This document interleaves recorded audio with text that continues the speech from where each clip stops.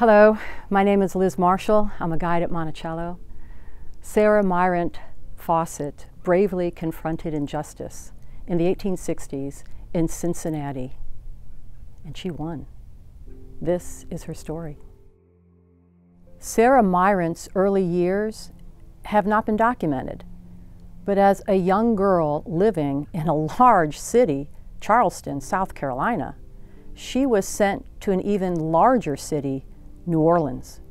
Mayrant was learning the trade of coiffeur femme, a woman hairstylist. Her instructor was French, and she was also learning about scalp and hair treatments, hair care products and goods. These are transferable skills and potential moneymakers. The man who Sarah Mayrant was going to marry, Peter Fossett, was born here at Monticello. Fossett's mother was a cook and his father was a blacksmith. In the 1840s, when Mayrant was 19 or maybe 20 years old, she was taken to Cincinnati, Ohio. Cincinnati was experiencing some significant growth. A journalist wrote that Cincinnati, known as the Queen of the West, was distinguished for order, enterprise, public spirit, and liberality. People were flocking to Cincinnati, and so too did the Fossett family. How Sarah Mayrant and Peter Fossett met is not known, but they married on September 28, 1854. She was 28 years old, he was 39. Their marriage was an equal partnership. Both were dedicated to faith, family, justice, education, business, civic organizations, abolition.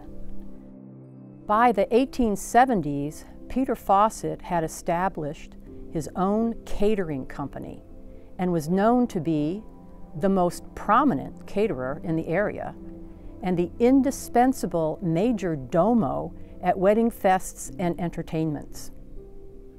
While Peter Fossett's reputation was being made, Sarah Fossett's reputation was being made too. By the 1860s, she had an elite clientele consisting of many of the white women in the city. She was their hairstylist. One day, she was leaving to meet a client, a bride to be, for her wedding hair appointment. She decided to take the streetcar. The conductor would not let her on the platform.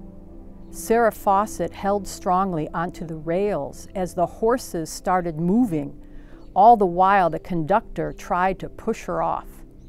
After three blocks, she let go, sustaining injuries which took days before recovery.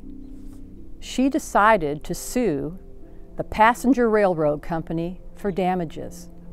The Passenger Railroad Company claimed that since she was never on the platform, they did not owe her any damages, though she was given $65 for being refused passage. Fossett's strength opened the door to larger legal passage for black women and children to ride inside the streetcar while black men could ride on the platform outside. Two years later, Judge Bellamy Storer, who knew Sarah Fossett and her reputation, stated that all persons regardless of color and sex, were to be permitted on streetcars. This case was almost 100 years before Rosa Parks took her rightful place on the bus. Sarah and Peter Fossett both were prominent members of the African American community in Cincinnati. They were involved with the Underground Railroad. They both were active in the church on Baker Street now known as Union Baptist Church, Sarah and Peter Fossett bought the land together for the new Union Baptist Cemetery, where they both are buried.